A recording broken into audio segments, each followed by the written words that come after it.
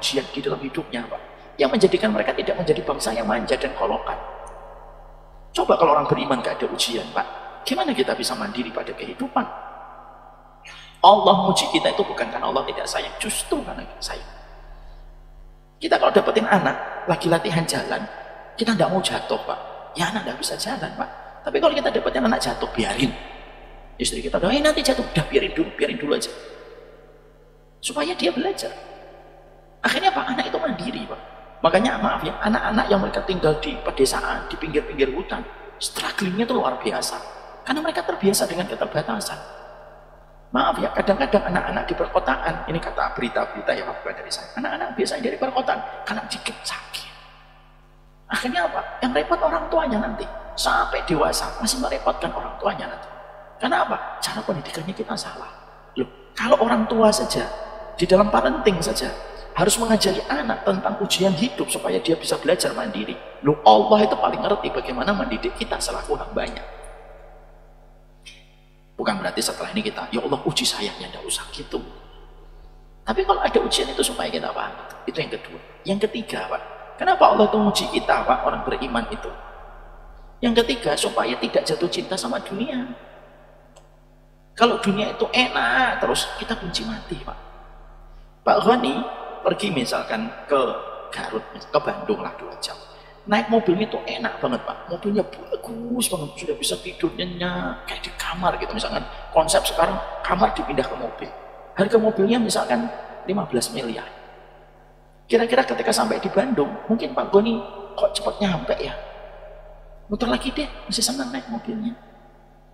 Tapi kalau Pak Goni ke Bandung pakai mikrolet, Bekasi Tambun Pak, Mungkin belum sampai Bekasi, belum sampai Bandung, baru sampai tol Bekasi Barat sudah minta turun kan?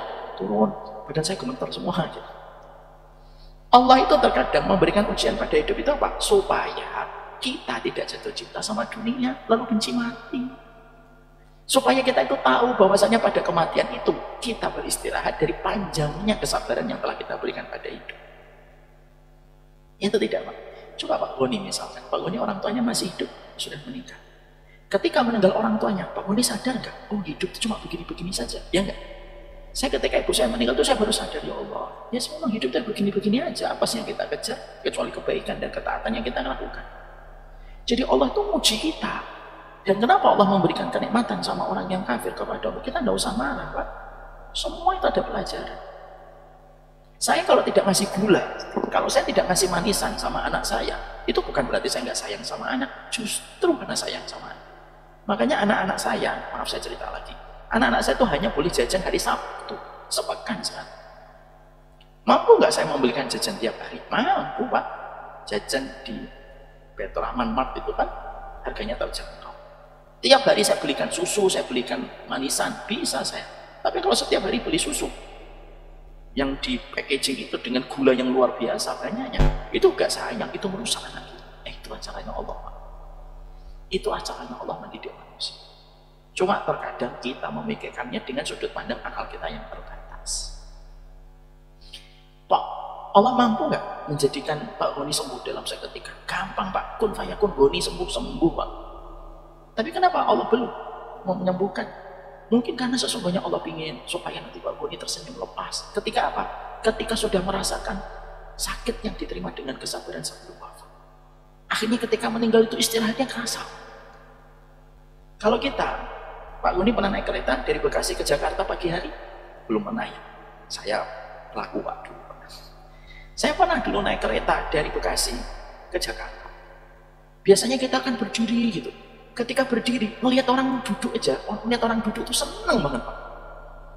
Ya atau tidak? Ya Allah nikmat banget. Melihat orang duduk itu kayak melihat roti anget itu di oven. Makanya sampai ketika ada orang nanti sudah masukin apa gitu ke tas gitu, kita langsung deket-deket ke dia. Kenapa? Supaya dapat kesempatan untuk duduk. Supaya dapat kesempatan untuk duduk. Dan ketika duduk itu rasanya enak banget ya Allah. Enak. Walaupun ketika duduk itu, ketika duduk di rumah itu kita bosan Pak. Tapi ketika naik kereta, duduk itu terasa nikmat sekali. Kenapa duduk itu terasa nikmat? Karena kita lelah berdiri Pak. Akhirnya apa? Ketika duduk itu terasa nikmat sekali. Saya pernah naik kereta dari Bekasi ke Jakarta. Terus ada orang dengerin itu mic itu. Setelah itu dia bangun, dia masukkan itu earphone-nya ke dalam tas. Saya kira mau saya kira mau turun di stasiun berikutnya. Dia udah masukin barang-barangnya gitu. Saya dekat. Wah, kita tempat duduk. Eh ternyata dia cuma masukin earphone-nya setelah itu tiga tidur. Dan saya sampai sampai kota itu sampai Manggarai nggak dapat tempat duduk. Itu menjelaskan kepada kita. Allah lalahkan supaya apa? Supaya istirahatnya itu terasa nikmat. Tidur, kamu mesti nikmat pak. Tidur itu relatif. Siapa yang tidur? Kalau ada orang tidur, dari habis subuh tidur jam 9 nanti bangun sebentar tidur lagi sampai jam 12 jam 12 tidur lagi Pak tidur itu tidak terasa nikmat juga menyiksa bagi dia coba kalau misalkan ada orang kerja dari pagi sebelum subuh sudah bangun langsung kerja jam 7 sampai sore jam 4 udah gitu langsung ngadepin anak ketika pulang ngurusin anak maghrib isya habis isya tidur itu rasanya nikmat betul nah itulah kata-kata hikmah yang kita bisa sampaikan kenapa kalau orang mukmin itu ujiannya banyak Bukan karena Allah tidak sayang. Tapi begitulah cara Allah mendidik kita supaya kita menjadi orang yang kuat. Paham Insya Allah. Semua kan nanti Pak insya Allah istirahatnya maksimum.